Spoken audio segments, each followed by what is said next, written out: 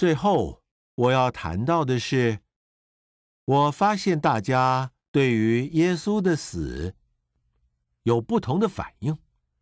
第一种反应其实很常见，就是漠不关心，完全不在乎，对我没有任何影响。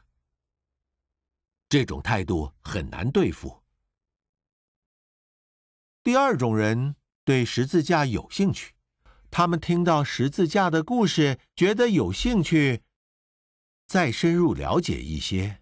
今天这个世界有很多情况跟当年十分类似，很快的就能够联想到许多跟十字架类似的情况，像是不公平的处决、无辜者受死等等。这种事在我们身边。不断的发生，无辜的人死去，没有公义，都很像耶稣的死。于是，他们更有兴趣去了解。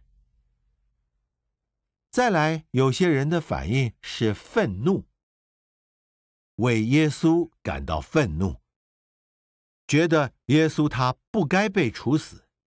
各位，我们很多人都会因为。无辜的人被杀死而感到愤怒，会觉得发生这种事没有公义。很多人从这个论点来反对死刑，说有些人被判死刑是冤枉的，无辜的人受苦。好像有一个伟大的小说家叫做什么名字来着？我知道他刚刚写了一本小说。讲到一个无辜的人，可是我忘了书名。所以有些人感到愤怒，但是他们想的是别人，不是自己。最后一种人的反应是认同，他们发现这件事的时空虽然和今天相隔数千年、数千里，却和自己息息相关。他们也在场，他们也和那些。罪恶可悲的世人一样，把耶稣处死。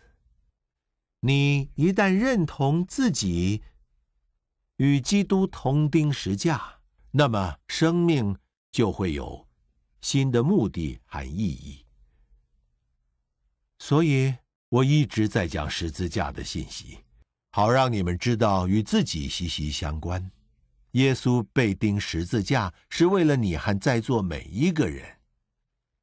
如果你相信这一点，就会发现自己与基督同钉十字架，向世界死去，但向基督活着。你的世界彻底改变，你也活出了新生命。